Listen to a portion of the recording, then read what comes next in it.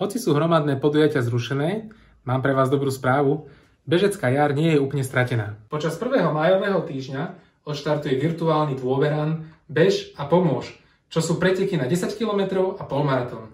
Štartovné sú len 2 eurá a bežci môžu svoj výkon opakovanými behmi vylepšovať.